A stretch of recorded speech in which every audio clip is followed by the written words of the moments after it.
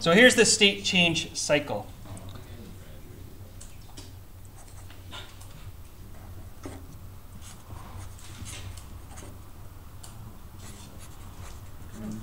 Flipping between grade twelve, grade twelve math and chemistry stuff and, Yeah, we're, you know, yeah, we're reaching back to, to like grade five, six, seven, eight. So back in grade five, six, seven, eight, you said that there was one state likely called starts with a G. Gas. Gas. Gollum. What was the other state? The next state? Liquid. Liquid. Okay. Oh, you, you're going too fast. This is too quick. What's the third one? Solid. Solid. You know? We're, we're, we're going to ignore the fourth state. Thank you for bringing up plasma. And we're also going to we're also going to ignore the fifth one. What's the fifth one, Sen? Yeah, the, the Bose-Einstein condensate. We're gonna we're gonna ignore those two uh, exotic matter states. Call them exotic. Yeah. Ooh, you can look that one up on your own time. All right. I want to talk about heating up or cooling down. When I go to get from gas to solid, am I heating up or cooling down? Cooling down. When I go from liquid to gas, sorry, from solid to liquid, am I heating up or cooling down? Liquid to co- heating up. From liquid to solid? Cooling down? Is that right? Yeah? Yeah? Yeah. Liquid to solid. Question us. What about from gas to liquid? Yikes. What's that? Cooling down. Cooling down. All right. What do you call it when you go from a liquid to a solid? Melting. Oh, don't lie. Liquid to a solid. Liquefaction?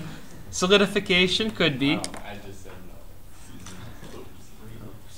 Could say solidification. Well, it's freezing if we're talking about uh, water and a few other substances, but solidification, nice general term. Solidification. What would you call it when you go from a gas to a liquid? Condensation, yeah.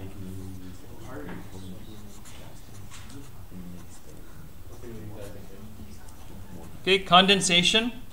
What about when you go from a gas to a solid? Yeah, you know, some people say sublima- sublimation definitely from a solid to a gas, and then some people uh, say sublimation is what you both call a gas to a solid, and when you call it when you go from a solid to a gas, and then some people say uh, maybe we should come up with another word, and instead of saying sublimation for both of them, they'll say deposition for when you go from being a gas to a solid because it's depositing directly as a solid from a gas form. So I, I'm going to use deposition, but I, I recognize that some people say sublimation for both.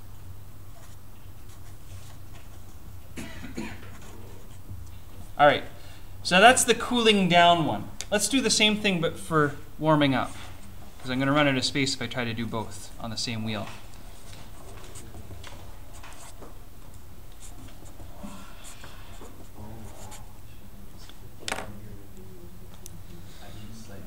So from solid to gas, from liquid to gas, and from solid to liquid.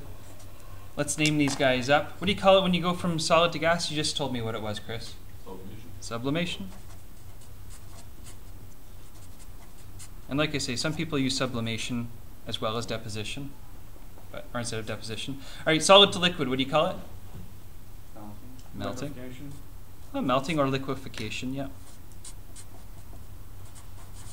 Yeah, liquefaction would probably be the nice general one that would go along with solidification. But uh, and from liquid to gas, evaporation, yeah.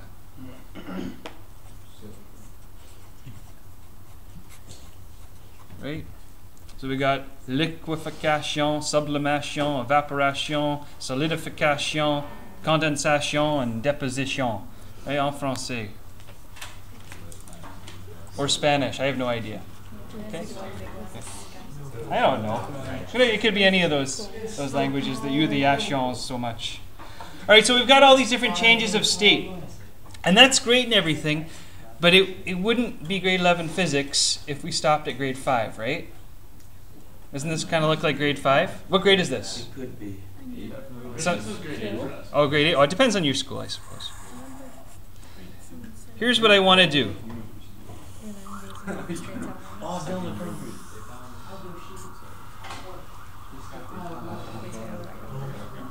Let's talk about a graph, because that, that's the way physics talks, right? Graphs.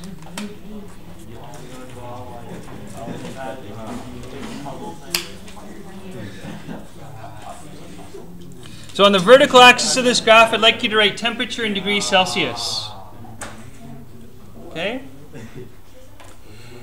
And I want to put some critical points on this graph. I'd like this to be 0 degrees. And I'd like up here to be 100 degrees. And you know what? Just for kicks, let's make this be minus 20 degrees. We could keep on going. And I'd like this to be an energy graph for water specifically. You know, Celsius based a lot of his stuff on water, and water's so abundant. Water's a good one to pick on because we're very familiar with it. So energy, yeah, what's his last name? Well, it's you know, it's like so many of these things that get invented by somebody or discovered by somebody or whatever, and then they get named after that, that person, and it's hard for you to dissociate the discovery or the invention with the last name. So, like for example, the crapper. That's somebody's last name. Crap. Seriously, Name was crap. What's a crapper? A crapper is a toilet invented by Mr. Crapper. What? That's the truth. Okay, Look, a little bit of trivia for you. Okay, but so, some people get these names mixed up with the concept. Celsius was a guy's last name. Okay, Crapper, guy's last name. Okay, yeah, go look it up. Is there such thing as liquid I know. I'm telling. I'm teaching a lesson about names. Crapper. Whoa. Is there such thing as liquid oxygen? Yeah, get it cooled down. Yeah, it's All right. So we got an energy graph for water. An energy graph for water. Here's what I want to propose to you. What you thought before is this. I'm going to lay down my pencil for what maybe you might have thought before. What you might have thought before is that as you increase the energy, and this is the thermal energy axis, as you increase the thermal energy in something, its temperature just goes up.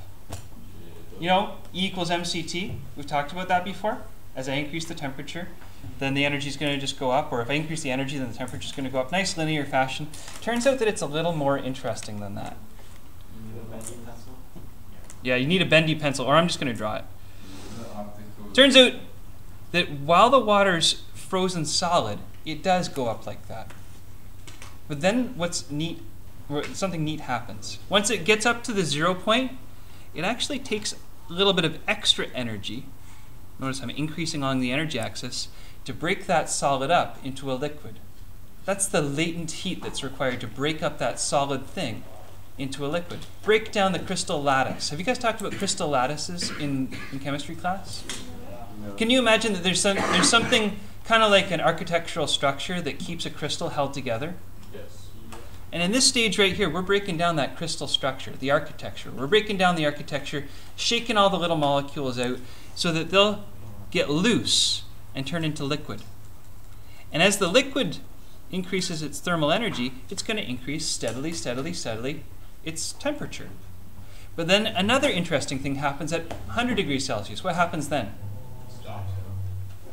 It stops carrying on like this. What happens to its state if it's water?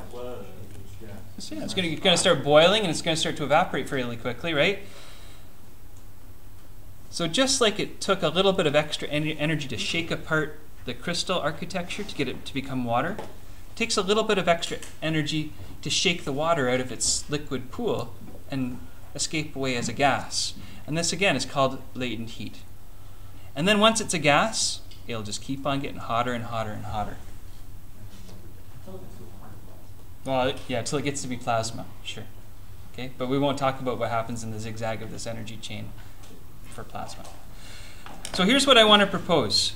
If I'm going up this part, the change in energy, delta EH, is equal to the mass of the substance times its heat capacity, and in this case, the heat capacity of ice. You know the heat capacity of ice and the heat capacity of liquid water are different? You, maybe you see it, saw it in the textbook reading, but Isn't it like half? Well, it's not a nice tidy number like that, but it, they're they're different. And if I wanted to talk about the change in heat energy during this stage, I could calculate the change in heat energy for really cold ice to warm ice, which would be just around the zero mark. There's actually colder ice than zero, okay? Get it down colder. And if I wanted to talk about how much energy I could pour into liquid water, again, mass times heat capacity times delta T for liquid water. You have to look up the heat capacity for liquid water. Again, in your textbook, referenceable value. Okay? And if I wanted to figure out how much energy goes into raising a sample of steam up a certain temperature, same thing.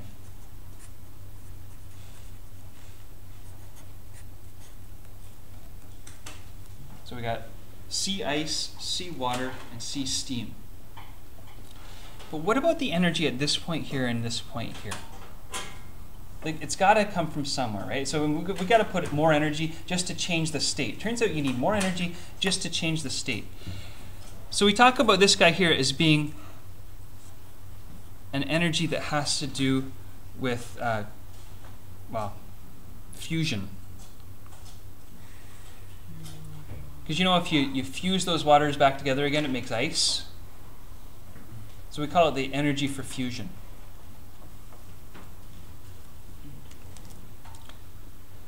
And up here, we talk about this energy being the energy that's required to achieve vaporization. So the vaporization energy. Fusion energy and vaporization energy. Notice at this point here, it doesn't change temperature. It's just the energy that allows the state to change, not to actually raise the temperature. So what we said previously was that anytime you add thermal energy, you're going to change the temperature. Not true along here. Not true along here. The temperature is staying the same during those two parts of this graph, but I am adding energy as I travel up the graph, okay?